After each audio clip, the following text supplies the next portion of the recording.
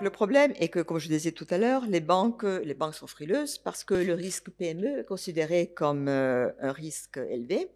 et parce que les alternatives sont, là. Donc, les alternatives sont les prêts à des clients connus, à, de gros clients, et aussi, il faut le dire, le financement de la dette publique, donc des achats du bon, de, bons du trésor,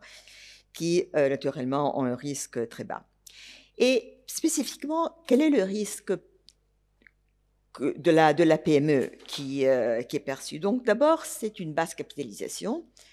du fait notamment que la PME repose euh, souvent sur la, capitalisation familiale, des sûretés inadéquates, manque d'immobilisation qu'on peut mettre euh, hypothèque ou d'immobilisation peu sûre,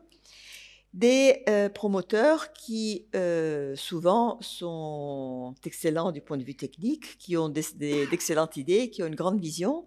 mais qui ne sont pas des entrepreneurs, parce qu'on ne naît pas entrepreneur et ce n'est pas intuitif que de devenir un entrepreneur. Et donc, qui présentent des projets peu bancables, qui sont peu euh, habiles à gérer leur entreprise, à, générer les profits nécessaires pour, entre autres, rembourser la dette. Et de ce fait, la situation vue du côté des entreprises, que les banques, étant donné qu'elles sont réfractaires à, leur donner des prêts, elles voient un manque d'informations sur, sur les crédits disponibles, elles voient des procédures très complexes, elles voient des exigences strictes en matière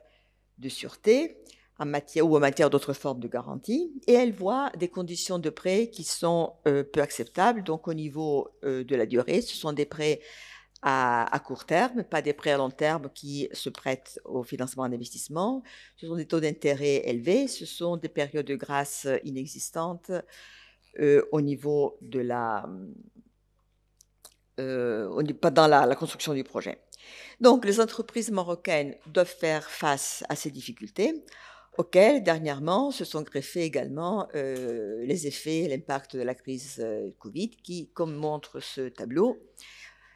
euh, a été à frapper davantage les, entreprises au niveau du, chiffre d'affaires, au niveau de leur capacité de, de, rembourser, de rembourser la dette.